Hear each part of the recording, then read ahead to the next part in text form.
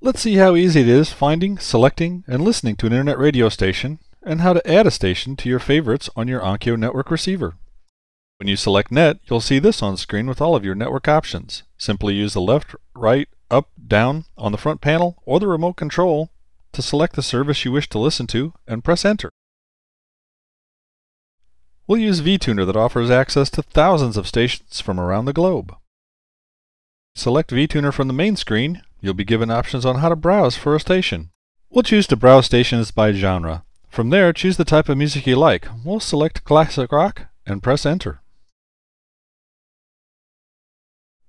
A new screen will allow you to select the type of station or area you want. Here, we'll select high quality to look at higher bandwidth streams and select one, 88.9.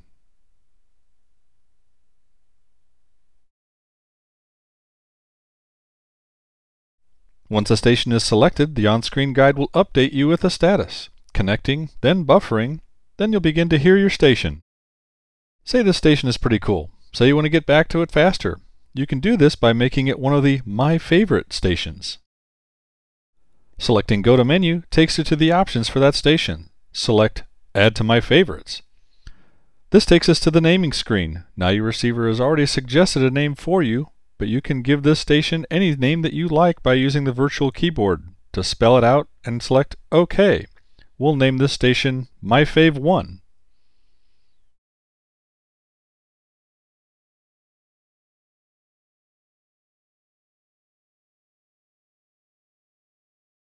Now from the main on-screen guide for NET, choose My Favorites. The station you just added will show.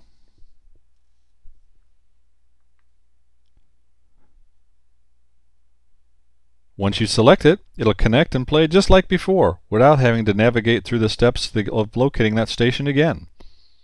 Now you see how easy it is to find, select, and play an internet radio station on your Onkyo network receiver, as well as add stations to your favorites. Enjoy!